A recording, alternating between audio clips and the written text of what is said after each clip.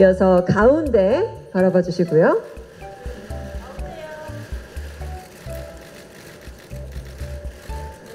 모델 지망생의 삶을 사셨어요. 아마 그때 나의 어린 시절 홍진경의 마음이 또 새록새록 떠오르시지 않았을까라는 생각이 드는데요. 네. 원 없이 한 없이 멋있는 포즈 보여주시면 되겠습니다.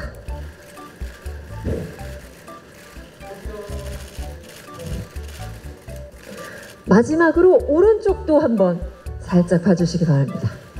야, 역시 뭐 플래시가 카메라 플래시가 끊이지 않고 터지고 있는데 우리 지창욱 씨가 보여줄 재벌집 사위 아가베 농장 농부의 마지막으로 오른쪽도 카메라가 여러 대 있습니다.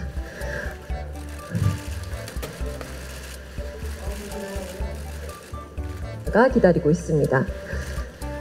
아니 뭐 전통 의상 입으시고도 그냥 주체할 수 없는 흥 그 기운을 보여주셨는데 스팡 한번 하실까요?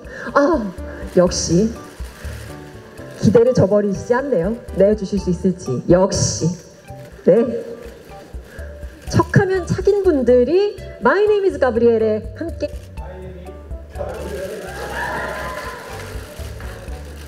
우와 기대도 안 했는데 기대 이상의 포즈가 나왔습니다. 가운데 가겠습니다. 하나, 둘, 셋.